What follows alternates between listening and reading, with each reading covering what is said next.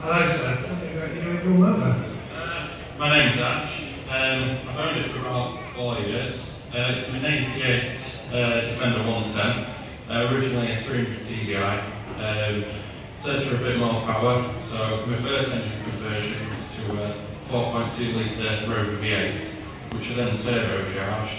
Um, really a Ford with 7 miles to the gallon. Um, so over the last sort of two years, um, I've put a 5.9 litre um, Cummins turbo diesel in, um, slightly modified injection pump injectors and a slightly larger turbo. Uh, it's pushing about 400 brake horse and just close to 800 foot-pounds of torque. Got some serious water in the arena. And what do you do with it?